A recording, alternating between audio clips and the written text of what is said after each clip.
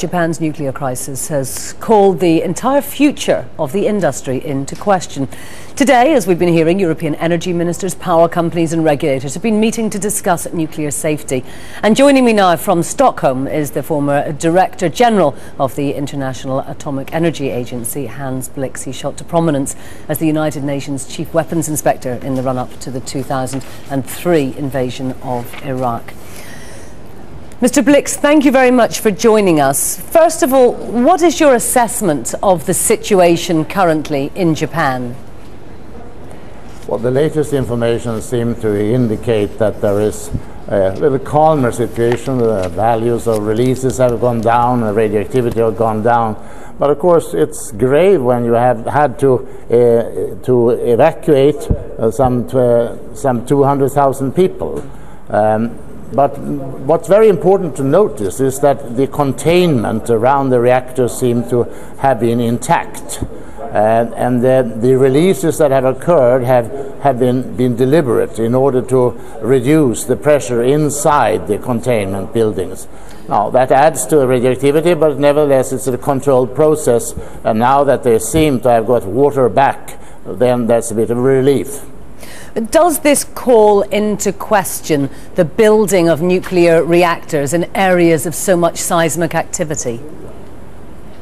I'm sure that is going to increase resistance to nuclear power in, in Japan and in many other places we have already seen, in Germany and other places. Uh, it, it, has existed before and it's going to increase now. Uh, nevertheless, I think that people also will need to reflect on the use that they have had of nuclear energy. Japan is a country that is poor in energy resources, and for some 40 years, nuclear power has given them a measure of energy independence. And not least now is it important that we need to reduce the emissions of carbon dioxide and nuclear power does not give rise to any mm, carbon dioxide. So it's part of the mix that is necessary. But Professor Stern uh, talked a little while ago. We will need all the energy sources we can, and nuclear is among them. Now, was uh, were these particular reactors too old? Would more modern reactors be even safer? Can we get to the point where reactors are safe enough to make even the most skeptical people think that nuclear is safe?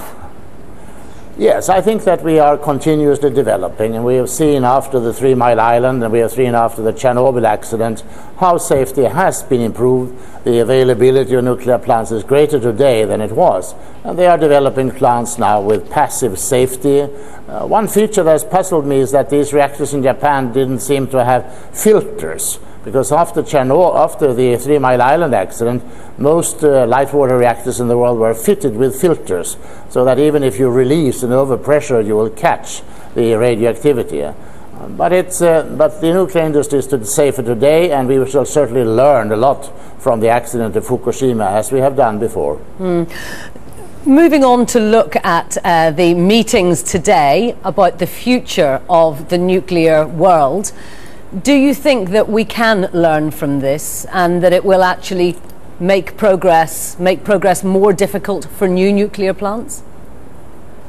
No, we are continually learning. I was at the IAEA for 16 years, and the IAEA is a sort of center where the different governments get together and they exchange experiences and they draw up guidelines and recommendations how how to uh, what demands they should put on the on the nuclear industry.